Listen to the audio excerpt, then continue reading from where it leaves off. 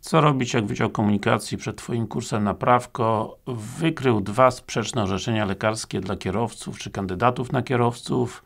Oczywiście, że jedno y, jesteś zdolny, a drugie, że istnieją przeciwwskazania do prowadzenia pojazdów mechanicznych. Tradycyjnie zapytanie mojego widza.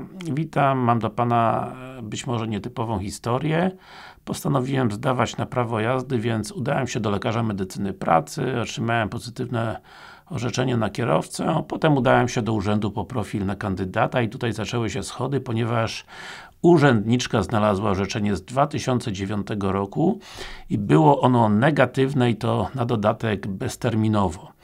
Nowe orzeczenie jest ważne e, na 6 lat. I w związku z tym wysłała mnie do WOMP-u na kolejne badania i moje pytanie brzmi, jak może przebiegać to badanie, czy będzie to weryfikacja dwóch sprzecznych orzeczeń i czy muszę zdawać w tym WOMP-ie, czy mam do wyboru jakiegoś innego lekarza, czy skoro mam pozytywne orzeczenie, to czekają mnie wszystkie e, badania. Noszę okulary, e, nie wiem czy będzie badanie na przykład psychologiczne. Proszę o opinię na, temat powyższej sytuacji, czy jest jakieś pozytywne wyjście.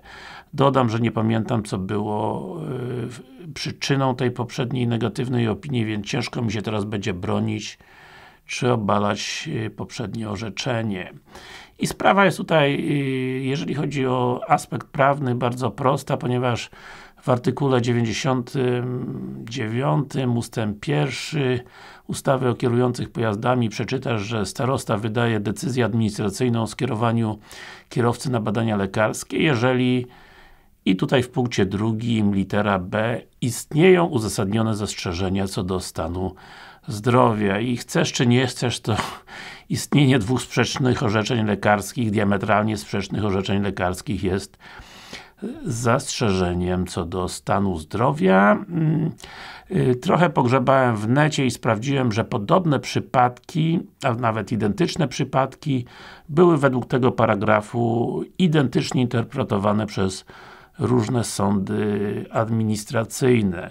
Czyli z reguły to była sytuacja, że jakiś ziom, a być może i Ty, poszedłeś do jednego lekarza, ten lekarz daje Ci, że masz przeciwwskazania zdrowotne do kierowania pojazdami, ale y, jest lekarz za rogiem, bardziej spolegliwy, idziesz do niego, dostajesz pozytywne, ale ten taki bardziej rzetelny czy ten, co Ci dał negatywne orzeczenie, wysyła y, kopię jednego z tych orzeczeń do Wydziału Komunikacji, no i są niestety po pewnym czasie dwa różne orzeczenia. Tak więc jedyne co możesz zrobić, rzeczywiście jeżeli chcesz uzyskać to prawo jazdy, y, to musisz y, odbyć badania w Wojewódzkim Ośrodku Medycyny Pracy zgodnie ze skierowaniem y, które dostałeś i tam z pewnością dadzą radę ustalić jaki był powód pierwszego negatywnego orzeczenia.